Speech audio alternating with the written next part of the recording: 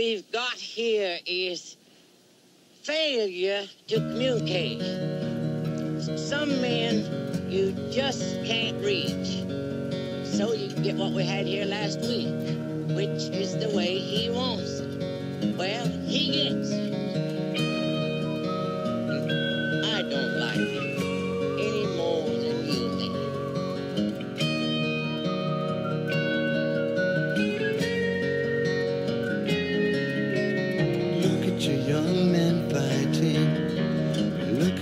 At your women crying. Look at your young men dying. The way they've always done before.